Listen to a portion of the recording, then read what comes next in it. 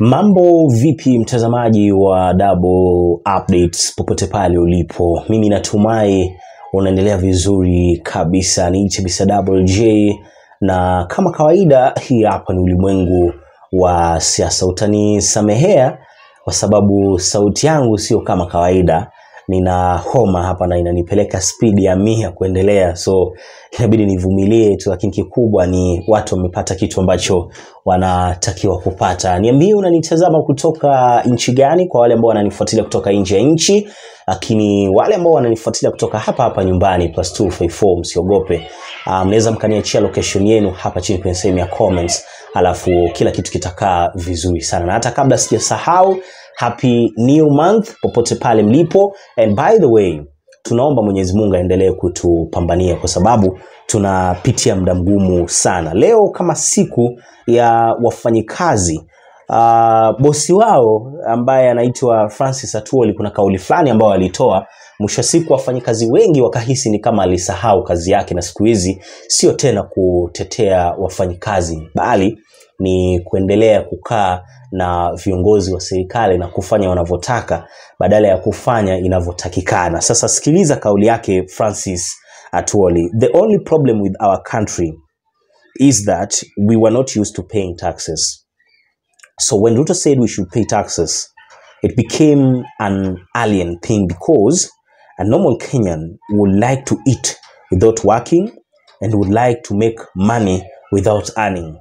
So huyo ni bosi wa wafanyikazi anaongea, mzee mzima Francis Atwoli. Kwa lugha nyepesi kabisa, shida yetu wa Kenya au shida ya nchi yetu ni kwamba hatukuzoea ama hatujazoea kulipa ushuru.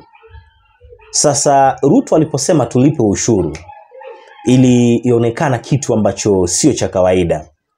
Sasa kwa Mkenya wa kawaida anapenda sana kukula na hataki kufanya kazi, na pia vilevile vile anaweza tamani kupata pesa lakini hataki kufanya kazi. Ni kauli ambayo haijawakalia vizuri wafanyakazi wengi sana, na hata ukiangalia reactions za wengi tu kwenye mitandao ya kijamii watakwambia kwamba Atwoli ni kama amesahau kazi ambayo anatakiwa kufanya. So kabla hata hatujaizungumzia kauli ya mzee mzima Francis Atwoli, nina project hapa and uh, naomba kabisa tushirikiane kwenye project hii hapa. Nyuma nilikuwa nawaambia kwamba kuna requests, requests nyingi sana ambazo nilikuwa nazipokea kutoka kwa watu mbalimbali ambao wameathirika na mvua kubwa ambayo inaendelea kushuhudiwa maeneo uh, tofauti tofauti hapa nyumbani plus 254 and uh, bado nilikuwa naangalia angalia tu kesi gani ambayo iko serious, kesi gani ambayo tunaweza tukasaidiana bla bla bla na mambo kama hayo, na nikasema pia kwa sababu tunaongea ndio tunasema pale inatakiwa kufanyika hivi, pale tunatakiwa kwenda hivi nikaona sio vibaya na sisi pia tuchangie kwenye kusuluhisha matatizo haya ambayo tunaendelea kukumbana nayo kwa sababu ya mvua kubwa ambayo inaendelea kutuletea madhara mengi, mtazamaji wangu. So nikapatana na kesi hapa ya mzee Pascal, na Pascal ni mlemavu kama unavyoona kwenye hiyo video and uh, Pascal anatoka Nyando. Eh, Nyando inapatikana kule Kisumu. I think ni miongoni mwa sehemu ambazo pia zimeathirika pakubwa sana. So the reason why story ya Pascal imenigusa kwa wale ambao wanaweza wakajiuliza mbona tumechagua uh, Pascal au mbona tumechagua kumsaidia Pascal ni kwa sababu uh, Pascal cha kwanza ni mlemavu, hana watu ambao wanaweza wakamsaidia, na hata yeye mwenyewe kujisaidia inakuwa ni vigumu sana, kwa sababu hapo unavyomuona alikuwa anafanya kazi ya kushona uh, viatu and uh, baadaye kwa sababu ya umri na mambo kama hayo ikawa vigumu, sasa akabaki tu nyumbani. So amekuwa akisaidiwa tu kama mtu wa kawaida, anaweza akapatana na msamaria mwema akamletea hata kama ni sukari fulani, akaishi akasongesha uh, muda na mambo kama hayo. So kikubwa ambacho kilitokea ni kwamba mvua kubwa ilinyesha, uh, nyumba yake ikaharibika so nyumba yake ilipoharibika naye akakosa sehemu pa kulala sehemu pa kukaa. And uh, sasa hivi tunaongea ni kuomba naomba sehemu uh, pa kukaa. And uh, nikasema there is no problem nitaleta kesi hii hapa kwa familia ya double updates. Nyinyi ndo mtaamua kama tunaweza tukamsaidia ama hapana. Kwa sababu hapa nilikuwa nawaambia tunaweza tukatafuta hata kitu kidogo tuone kama tunaweza tukamtengenezea hata nyumba ndogo tu. Kwa sababu sasa hivi kuna watu wengi sana ambao wanahitaji msa, uh, msaada. So kama tunaweza tukamjengea hata kama ni nyumba nyumba tu ambayo anaweza ka akajisaidia inaweza ikawa uh, vizuri sana mtazamaji wangu. Na hiyo tunafanya kupitia details ambazo zipo kwenye screen. Kama utakuwa umeguswa na mzee huyu ambaye pia ni mlemavu na hana sehemu pa kukaa nyumba yake ndio hivyo uh, imebomoka unaweza ukatuma mchango wako. Sasa hivi hata kama ni hamsini uh, tuna almost 20000 people ambao wako very active hapa uh, japokuwa tuna watu wengi tumefikisha subscribers elfu themanini eh, na kitu na tunaelekea tisini. Kwa hiyo kwa wale ambao watakuwa wameguswa uh, details ndo hizi hapa kwenye screen. Kuna watu wengi request ni nyingi sana hapa so tunaweza tukaanza na mzee pascal. Uh, tuone tutafanyaje na naomba tufanye hii hapa kwa wiki. Uh, tumjengee sehemu pa kukaa hapa pascal uh, chapchap na mimi naamini kuna uwezekano tukamjengea nyumba hata kama sio kubwa vile hata kama sio ya mawe lakini kidogo uh, hicho ambacho atapata team ya double updates tutakuwa tumewacha alama kubwa sana kwa sababu huyu ni mtu ambaye hana na kama tutafanikisha hii hapa uh, itakuwa ni kitu kikubwa sana uh, watazamaji wangu. So tusaidiane hapa tushikane mikono ili mzee naye apate nyumba na mimi naamini kila kitu kitakaa vizuri sana mtazamaji wangu. Naamini pascal atapata nyumba. Tunafanya uh, challenge ya shilingi hamsini. Kwa wale ambao wanaweza wakafanikiwa hamsini details ndo hizo hapo kwenye screen. Na naamini kila kitu kitakaa vizuri na hiyo nyumba tutaijenga. Probably tuseme wiki ijayo tutakuwa tumeijenga ili tusonge mbele kwa uh, watu wengine pia ambao wameathirika hivyo hivyo. So tunakuja kwa mdosi hapa. Mm? tajiri. Hapa ni bosi wa wafanyikazi. Anaitwa uh, mzee uh, francis atuoli so kauli ya francis atuoli wewe kama mtazamaji umeichukuliaje? Wewe kama mfanyikazi umeichukuliaje? Statement hii hapa inasema line ya kwanza na ya pili tu. The only problem with our country is that we were not used to paying taxes. Ni ukweli kwamba hatukuwa tumezoea kulipa ushuru. Ndo kitu cha kwanza ambacho tunatakiwa kujiuliza. Unajua tuoli ameiweka statement yake vibaya sana. Kwani hatukuwa tumezoea kulipa taxes au kulipa ushuru anamaanisha nini? Kwa sababu mimi kitu kimoja ambacho nafahamu ni kwamba tumekuwa tukilipa ushuru. Yaani mimi nimezaliwa nimepata watu wanalipa ushuru. In fact kadri uh, miaka zinaendelea kusonga ndo kabisa ushuru inaendelea kuongezeka.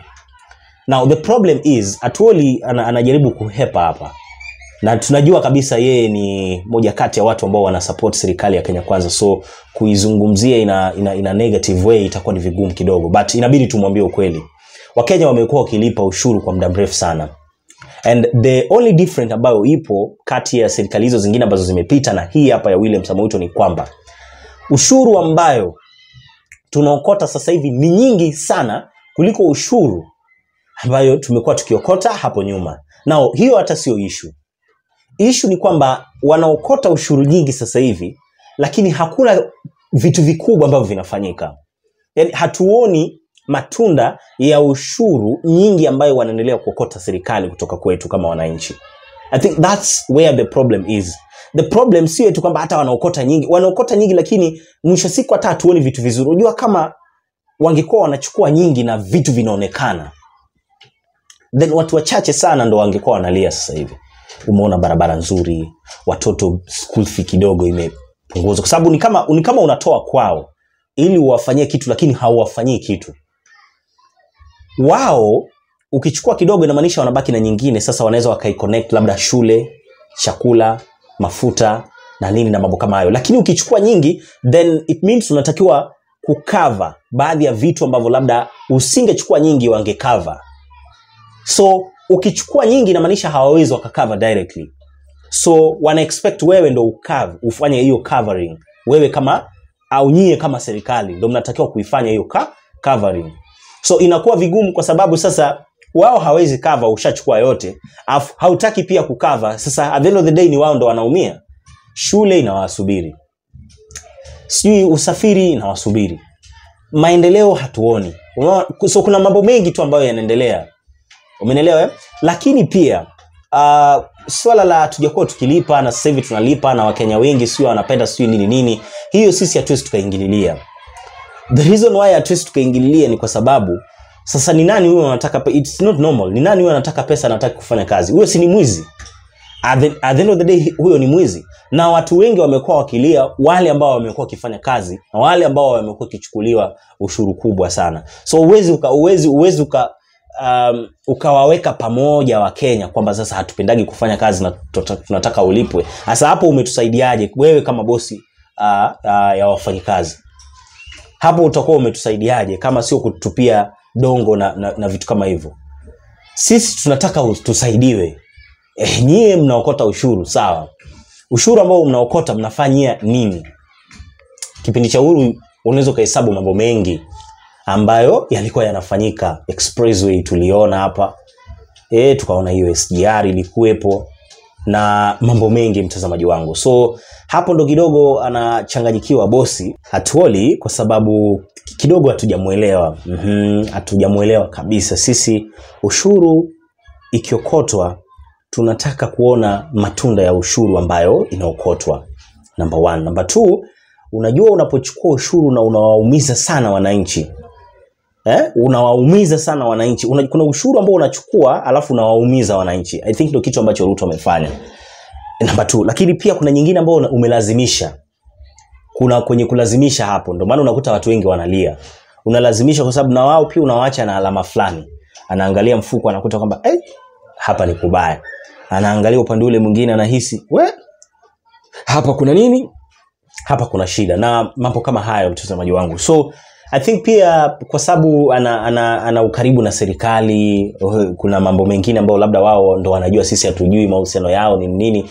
Obvious obvious. Na we all know atuoli atuoli ni watu ambao wanaendaga sehemu ambapo wanakula. Ya leo hii utamuona si unaona kabisa anasifia ruto? Wacha ruto akifail next time utaona oh ruto bla bla bla atakuwa upande ule mwingine. So it's normal. Kwa atuoli ni normal. Ni mtu wa kurukaruka. Anaweza akaruka huku akaruka huku. Ina depend ni wapi. Kuna nafasi wapi watu wanakula vizuri na kitu kama hiko. But yeye mwenyewe ndo ana fail kwa sababu the end of the day a represent serikali. Mm. ana represent wananchi. Kwa hiyo yeye the more anaendelea kutetea ruto of, obvious kuna vitu vyake ambavyo anavilinda.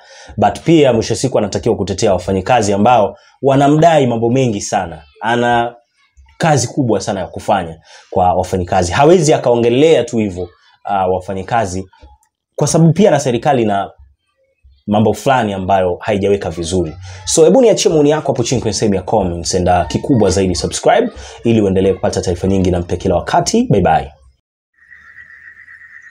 Ichio na deja e ngima Eh ato omonji aneno ka pi omonji mapek ahinya to koro kamidakeni kowadu pod ijongorie ting' sauti malo moko wadu to konyruok mar chiemo tiyudo nade gino ma gikonyi to diher mondo timni ang'o koyud ng'at manyalo konyi? Kaminya dake. Aneno ka in ng'ama disable ma ok nyal to ngimani te isebedo ka itimo ang'o?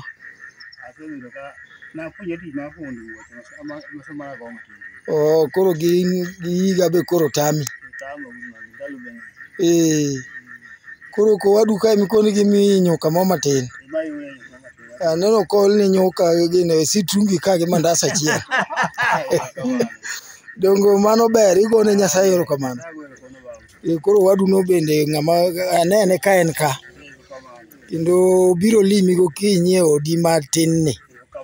Mondo mi ong'i ane ni to ichiew nade? Koso bin paro negi? Koro ber. Ora ka. Mondo mi akaw duondi kod pichani mondo mi ami migawo moro ka. Mondo ging'i ane kaka gikonyi. Aneno ka in matek jaduong' gigi nyol war ma kombe poni ma e laru ai tek ndi. Erokamano nyasaye mondo otelni. Jaduong' iti wacho ang'o kaka owadgi mondo mi ko- kony? Atuo mana mos owadwa ot odwa odwa nego. Mm, ogole mana e bwo tado. Eh. Ka ot olung'ore Ka oling'ore moime. aneno kogore piny te Nogore piny tado moime. Koro wagole mana gi thuon. Mm. Eh. Nyasaye mwalamo. erokamano jaduong' kuom rwako jaduong' wadu Aya go erokamano. Eh, nyasaye mondo odong' kodu.